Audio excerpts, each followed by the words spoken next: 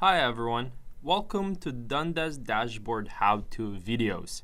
This video is on how to create and use templates. This video will demonstrate how to successfully create a template and apply it to a dashboard to help design similar dashboards more efficiently. Now, let's get started. As we can see here, we have two dashboards, revenue and sales. At this current time, they are plain in terms they are functional but not eye-pleasing. Since both dashboards display similar things and we want to integrate our company's colors and logo, we can create a template for a dashboard once and then half of both of these dashboards use it. Let's create a template to see how it will work.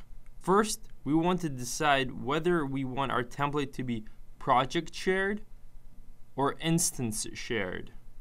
In most scenarios, we would want it to be project based. So let's create a template with the project shared options. To create a template, simply expand the project resources, hover over dashboard templates, and click on the ellipse button, and then select new dashboard template.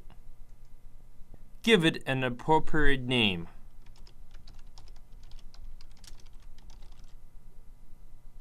A template will have all properties that a dashboard itself has, plus all general controls can be added. In this scenario, let's make our dashboard 600 by 600. Let's change the background from white to orange.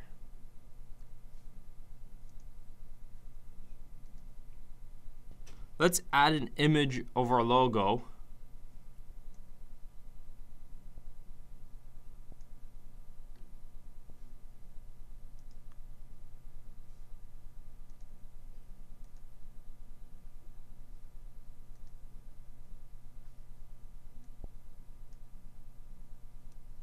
And let's add a label saying template.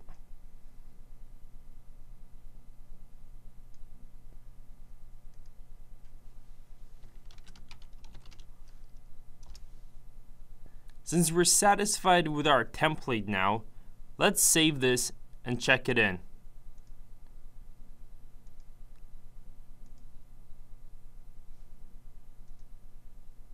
Now, let's add it to our dashboards.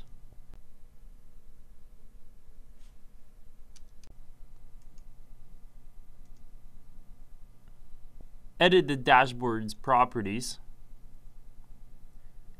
and under appearance property, change the template from none to our newly made template.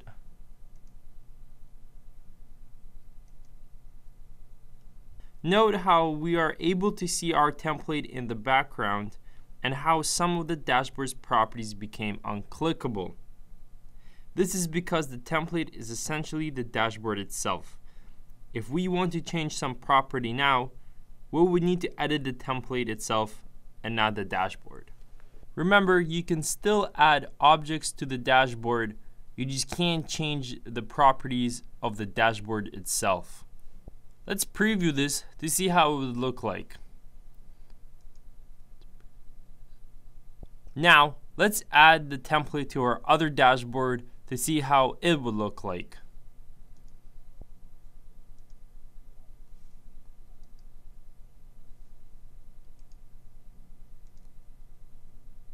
Again, to add the template to the dashboard, you will need to edit the dashboard and under the appearance property, change the template from none to the desired template. Let's preview this. And as we can see here, it looks as we would expect it to. Just now, we virtually designed two dashboards for the price of one with the use of a template. For more information on what we discussed in this video can be found on our support site support.dundas.com. Some key articles are shown on the screen now. Please feel free to visit them and read up on the information. Thanks for watching.